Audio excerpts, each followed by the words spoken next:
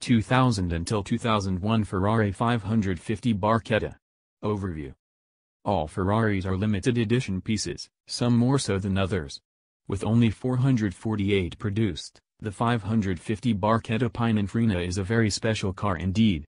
It is a salute to the 70th anniversary of the house that has styled more Ferraris than any other, the 50th anniversary of the two companies' first joint endeavor, and a celebration of the Scuderia Ferrari's 2000 and 2001 World Championships for Formula One constructors.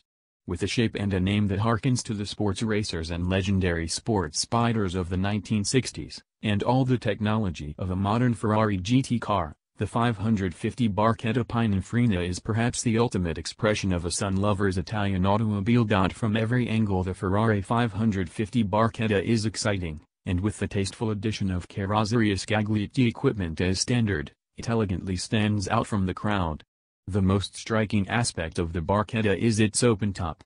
Its structure having been specially modified to maintain strength and rigidity on par with the 550 Maranello, the Barchetta is designed for alfresco motoring, the removable roof panel is an occasional solution for leisurely driving in inclement weather.